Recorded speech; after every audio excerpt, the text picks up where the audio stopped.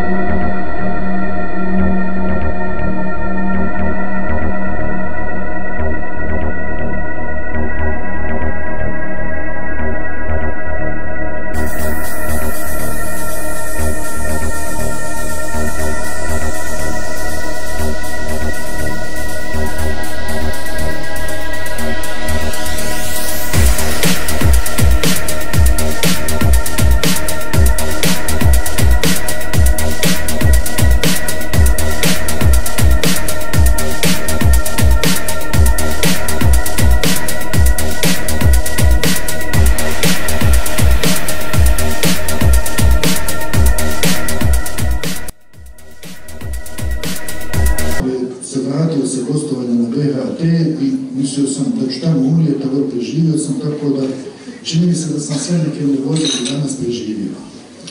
Nemam tremu jer sam večeras u društvu prijatelja, a i pozvali, pozvani smo svi da prvo popijemo kafu zajedno da malo ono što bi rekli u prenahalamo, pa uspjeti prepomišljenu knjigu.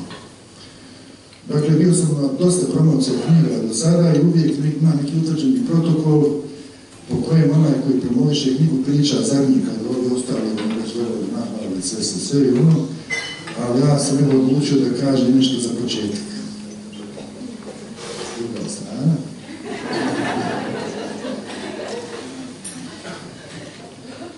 Ponekad, ponekad se u životu neke stvari dogode sasvim slučajno.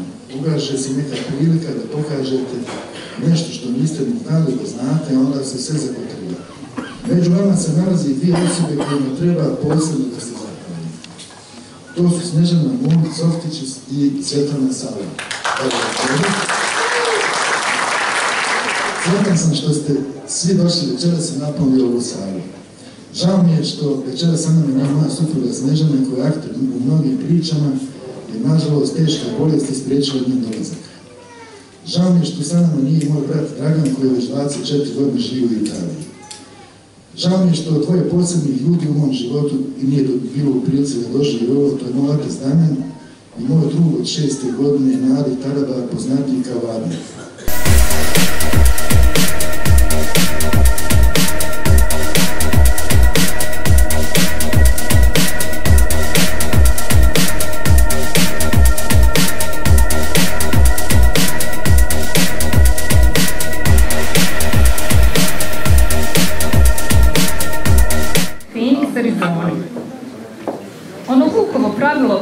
Kao što govoriš, kad je u pitanju zvone, treba ga promijeniti u piši kako jeste.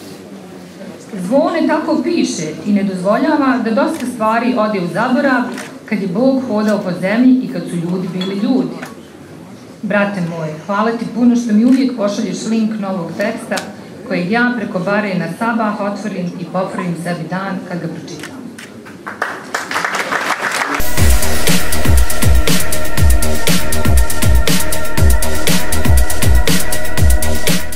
Gospodine Nikoliću, kakva su osjećanja poslije večerašnje promocije?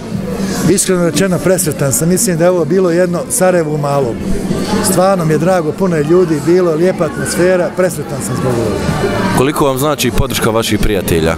Jako puno, ovo je u stvari bio i poziv prijateljima na druženje uz kafu i promociju knjige. Ovo su uglavnom 99% ljudi moji prijatelji. Kako su planovi za budućnost? Za budućnost prvo ću da prespavam i da budem svjestan sutra da se ovo stvarno meni desilo, a ja se nadam, imam već pripremljeni neki priča, pa će biti vjerovatno još knjiga. Hvala vam puno sreće u nastavku. Hvala lijepo.